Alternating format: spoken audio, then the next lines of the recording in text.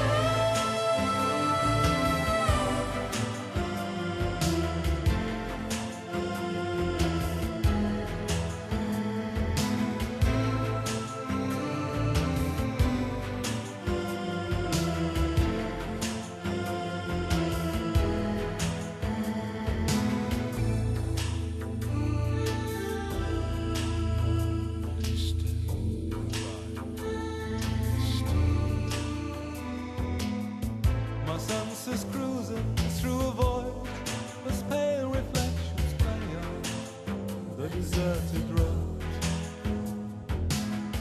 I hear the humming of machines,